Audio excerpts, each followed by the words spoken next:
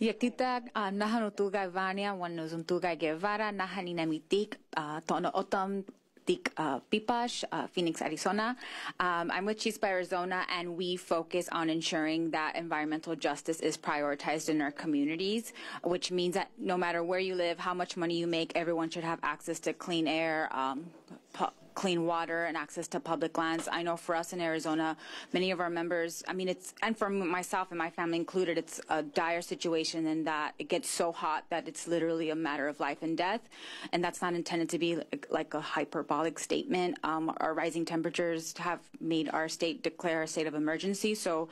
uh, having this funding and communicating with our, our members about the opportunities to have solar for all, to have micro projects that are funded by IRA is like I said, a matter of life or death. And so uh, with Chispa, we've Arizona, we've had um, over eight workshops, like community listening sessions with that are mono, uh, bilingual. So we have many monolingual Spanish speakers, and so making sure that the information is accessible, the opportunities, and the language. Um, there aren't any barriers because the language can be very intimidating and even for English speakers um, to understand fully. So uh, kudos to our team for really learning how to break down that language, break down the language and to meet community where they're at and ensure that their lived experiences are at the forefront centered and that we're hearing them out instead of us coming and saying, hey, we have the solution, work with us. What do you want to see more of as a result of this funding? And it's been phenomenal to really empower our people to say that we did this for them and because of them with their voices and their and their input. And so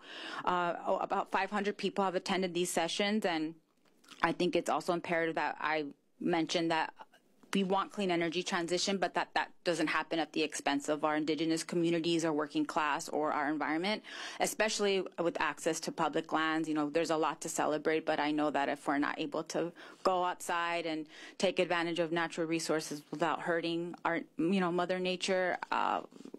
would be remiss to not have those conversations with our elected officials and also nationally um, because we literally have people whose mental health and life depends on whether or not they can go outside and access nature. And so, yeah, there's a lot of excitement. Again, it's an um, uh, sort of a locally an uphill battle given that our local government doesn't always support um, the work, but we're working really hard and it definitely helps to have federal investments and opportunities to make sure that, um, again, it's accessible and that people are excited about it because we,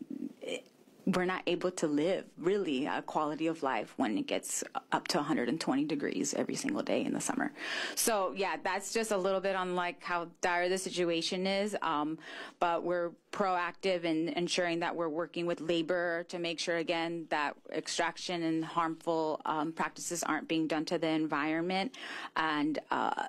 just to ensure that whenever anyone's talking to our communities about it, that it's done in a way that you meet community where they're at and that the information is accessible in the language that's most predominantly spoken in that community.